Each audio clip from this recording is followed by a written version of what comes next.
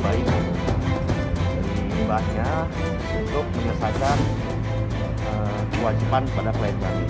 Karena prinsipnya kita masih konsultasi, cuma kalau memang ternyata Tidak ada etikat baik, kita langsung melanjutkan seperti apa yang tadi sudah dikonsultasikan.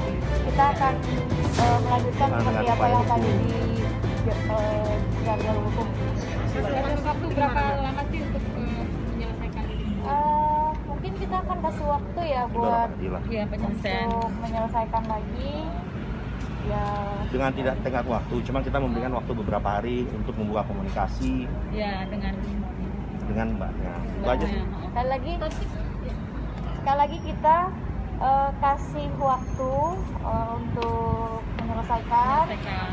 Eh, kita juga kita juga tahu lah dia juga kasihan juga gitu maksudnya kalau diperpanjang gitu. Tapi kalau tidak ada etiket baik malah justru mengumbar-ngumbar katanya saya mau pansos lah apalah.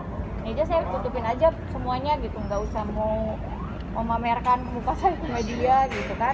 Jadi ya tujuannya baik yang eh, dia tolong selesaikan tolong jangan lagi melakukan hal yang seperti itu yang banyak merugikan bahkan Uh, upaya-upaya tersebut akan kita lakukan. Cuman kalau memang bisa langsung diselesaikan dengan cepat, itu kan cuma salah satu syarat. Ya, bisa aja silakan.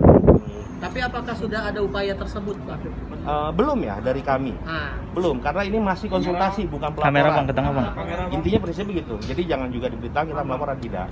Ini hanya sekedar koordinasi dan melaporkan, uh, bukan melaporkan ya. uh, kita berkoordinasi terkait dengan masalah ini bagaimana.